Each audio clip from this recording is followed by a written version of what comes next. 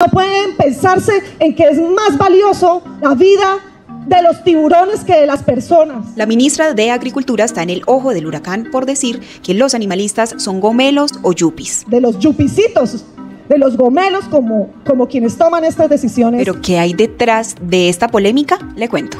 Resulta que el gobierno colombiano hace poco le permite a algunas comunidades la pesca de 11 tipos de tiburones y 4 tipos de rayas. Y debido a esto se han encontrado embarcaciones repletas de aletas de tiburón. Son discusiones mucho más profundas y que la aleta del tiburón no nos deja ver lo que está debajo de la aleta. Obviamente hay indignación en los animalistas y ambientalistas por la crueldad de esta práctica. Así que ante esta polémica, Jennifer Mojica desde Buenaventura dijo que quienes se oponen a este tipo de pesca son gomelos o yupis, términos que se utilizan en el país para referirse a la clase alta o privilegiada. También dijo que las imágenes de las aletas de tiburones cortadas son trágicas, pero que no se comparan con las imágenes trágicas que viven las comunidades de Buenaventura. Ella dice que editaron el video y lo que verdaderamente ella proponía era hacer un desarrollo sostenible. Dándole no solo la espalda, dando de verdad una, una muestra clara de lo que es el racismo.